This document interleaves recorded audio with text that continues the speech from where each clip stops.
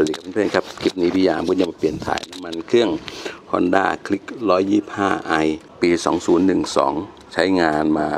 9 ปี วิ่งมาแล้ว 85,700 กิโล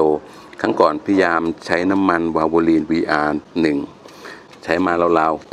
7,700 กิโล เดี๋ยวเรามาถ่ายออกดูว่าเป็นยังไงบ้าง โอ้ ใช้ทิ้ง 7,700 กิโลอีกแล้วเหรอ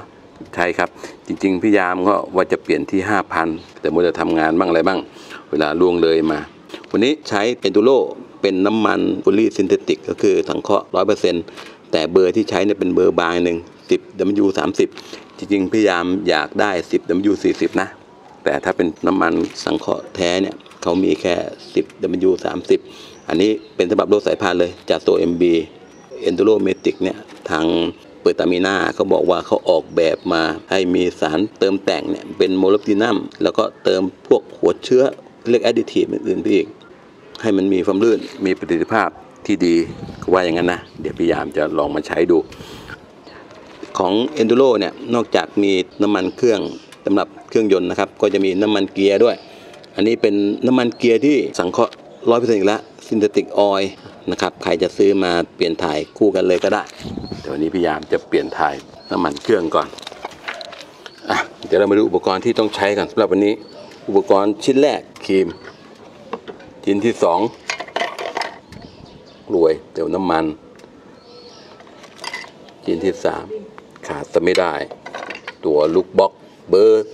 17อันนี้พยายามเปลี่ยนเป็นเบอร์17แล้วปกติมันใช่เบอร์12นะ แล้วก็ถาดรองน้ำมัน นี่รถนี่พยายามเพิ่งออกไปขี่มาประมาณ3กิโล เครื่องพอจะอุ่นๆบางคนบอกว่าถ้าถ่ายตอนเครื่องร้อนเนี่ย ข้อดีก็คือว่าน้ำมันเครื่องมันจะลื่นไหลดีกว่า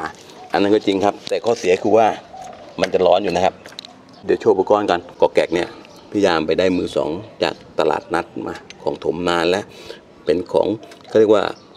super ratchet จอห์นวิลเลียมของอเมริกา อันนี้เป็นของเก่านะแต่ใช้งานดีครับ มันพิกลพิการหน่อยหนึ่งคือไอตัว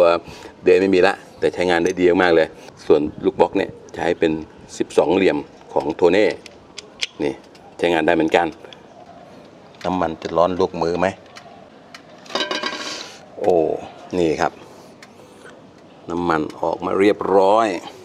ใช้ขาตั้งข้าง น้ำมันจะไม่ออกมาเร็ว เดี๋ยวพยายามจะตั้งรถให้ตรงนะ น้ำมันจะออกมาเร็วขึ้นวา v ลิน VR1 เขาบอกเป็นน้ำมันที่ดีนะ หลายๆคนชอบเพราะว่าออนไลน์ราคาไม่แพงเลย 200 ไม่เกิน 250 บาท โอ้ยพยายามไปซื้อจากร้านส่งมาอื้อหือยังได้เกับ 260 มาเจอออนไลน์นี่ไม่ได้จริงๆเดี๋ยวนี้ จะซื้อของอะไรนะต้องเช็คราคาแล้วเช็คราคาอีก เราอยู่ในยุคสมัยที่ต้องประหยัดนะครับนี่ครับน้ำมันออกมาไม่รู้เหลือมากน้อยเท่าไหร่นะเดี๋ยวเรามาลองเช็คน้ำมันกันดูเอาครับขอโยกอีกครั้งหนึ่งเรียบร้อย เสร็จแล้ว ก่อนจะทำไร ปิดน็อตตรงรูถ่ายก่อนนะครับ ตรงนี้นี่เสียหายกันมาหลายรายแล้วเนื่องจากไม่ได้ปิดมันพอไม่ได้ปิดใส่น้ำมันเลย น้ำมันก็ไม่อยู่ดิรั่วอันนี้อย่าว่าแต่มือสมัครเล่นเลยแม้กระทั่งช่างตามร้านเนี่ยบางทีพลาดนะอ่าไม่ต้องขันแน่นมากขันไปแค่พอดีพอดีก็ใช้ได้แล้วอ่าต่อไปเดี๋ยวเราจะมาเอาน้ำมันใหม่ใส่ลงไปนี่ขีมมาขีมมา